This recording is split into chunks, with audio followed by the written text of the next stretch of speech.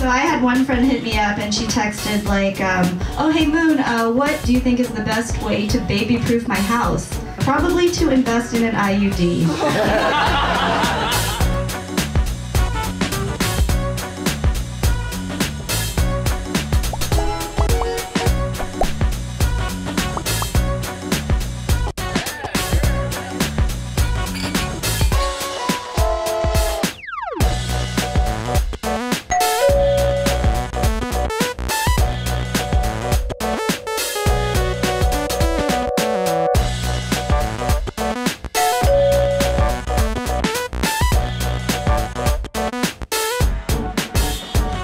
Dave Ready Jr., is pairing wine with food even a thing? You know, when you pair the right wine with the right food, you're gonna bring out the flavors in both and create an even better experience.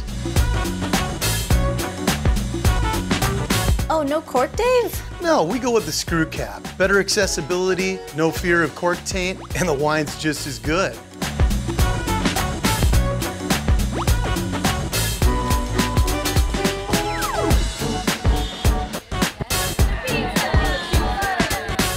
I go out and source the best grapes from all over California. You put them together, create this great wine. It goes great with things like pizza. All right, my main course. Steaks for my meat eaters, vegetables for my vegetarians. What do I do? Cabernet Sauvignon is the perfect wine for those big meats and those heavy vegetables.